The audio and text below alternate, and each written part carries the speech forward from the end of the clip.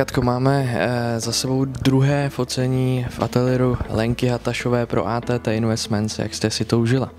Já jsem si to užila moc. Eh, já mám hrozně ráda takovýhle zpestření a už poprvé se mi to moc líbilo a teď, teď to bylo super.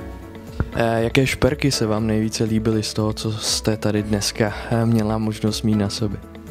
Mně se líbily ty srdce, a bylo to moc hezký a myslím si, že celkově samozřejmě šperky jsou krásný a prostě našla bych si vždycky něco. Eh, těšíte se, až ta situace, která je teď pomine a vy budete moct zase vyrazit jako dáma na nějaký večírek nebo na nějakou akci, kde právě můžete využít tyhle ty kousky?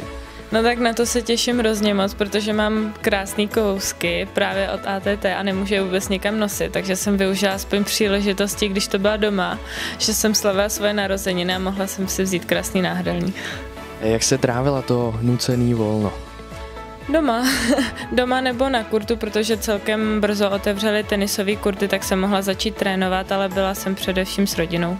A zápasy už se blíží, aspoň teda v České republice, tak jak se těšíte a, a co teďko bude váš nejbližší program?